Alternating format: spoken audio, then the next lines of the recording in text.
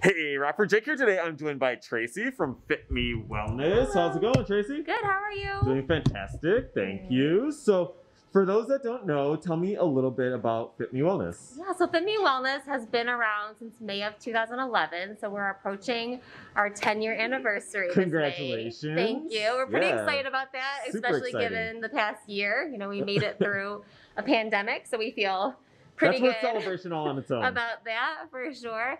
Um, and yeah, our owner Greg um, brought Fit Me to the Rockford community because he wanted to give our um, the people in our community a place where they could share a common interest of healthy living, um, where they could come and not only get a workout in, but maybe also have some social connection, um, some nutrition counseling, some wellness coaching, and just build some accountability so that they could all move towards a healthier lifestyle. nice. So, it's really kind of a, a all-in-one space around fitness. It's not just coming to lift heavy things or to walk on a treadmill. Yeah, for sure. We're definitely a comprehensive, all-inclusive fitness center. Um, we have members from teenagers up until I think our oldest member is 90. Wow. Um, all fitness levels, um, from very beginners to athletes coming here, um, some student athletes, um, some previous athletes. So we really kind of hit all.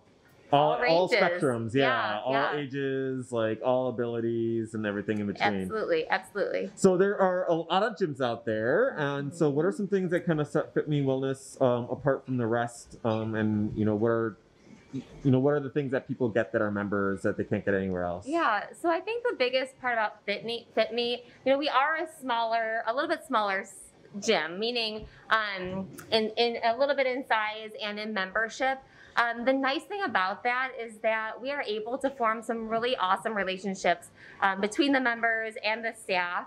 Um, and we realize that the importance of that is that the sense of community is much bigger than the biggest part probably of our of our wellness. You know, anywhere anyone can work out at home.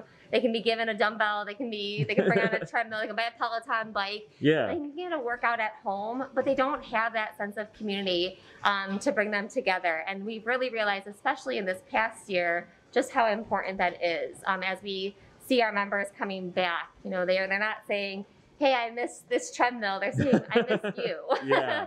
Um, Absolutely. yeah. So we're excited to see that happening and as we grow back in this next year. That's super awesome. And so for those that are want to be a part of the Fit Me family and learn more about you, uh, where are some places that they can go to get some more information and check out what's going on here? Yeah, so we're visible on um, Facebook and um, also on the web at, at www.fitmewellness.com.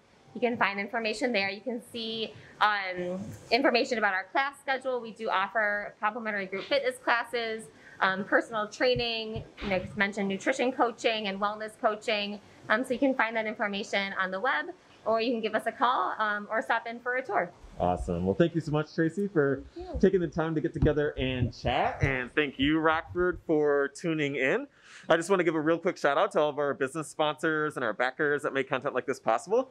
It's because of their support that I'm able to highlight local businesses like Fit Me Wellness and talk to wonderful people like Tracy here uh, and bring all this Rockford positive content to you for free through the power of the internet. So thank you so much to all of our sponsors and backers, and we will catch you on the flip side. Bye, Rockford.